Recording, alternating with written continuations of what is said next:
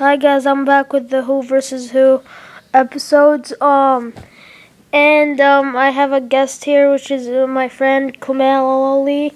Um, he's sharing his opinion of who he thinks he's gonna win, or who, who he thinks is gonna win.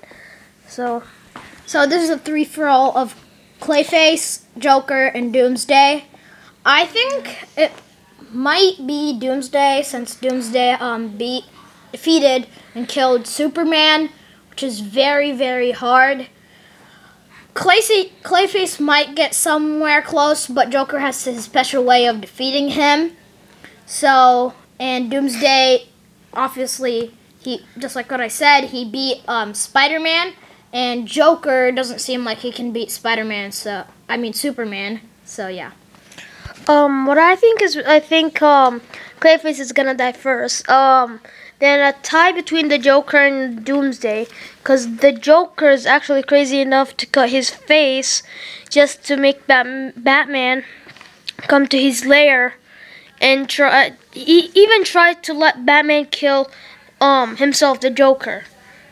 He actually tried that, but it didn't work. Um, uh, he does have a, a lot of people, a lot of thugs with him. Um, so I think he might have an explosion and he can make Doomsday run into him. Cause Doomsday doesn't really think, he just goes. So um, the Joker's are. I'm not sure if you guys noticed this, but Joker's actually um a genius kind of guy. He actually puts explosions and stuff uh, in places that you don't see. Like there could be an explosion right there if he's here. Um, there could be an explosion in that cup. Um, also in the Batman comics, Joker is the first guy ever to make Batman almost quits to be Batman. He actually almost made him quit because of his craziness and um I really think it's gonna be a tie. A guy who killed Superman and a guy who actually made Batman almost quit. Um, so I'm not sure. He well, maybe uh, Doomsday tries to run into Joker, then the explosion, boom, kills both of them. Um, but I don't think Doomsday is gonna die. That like he's gonna get knocked out at least.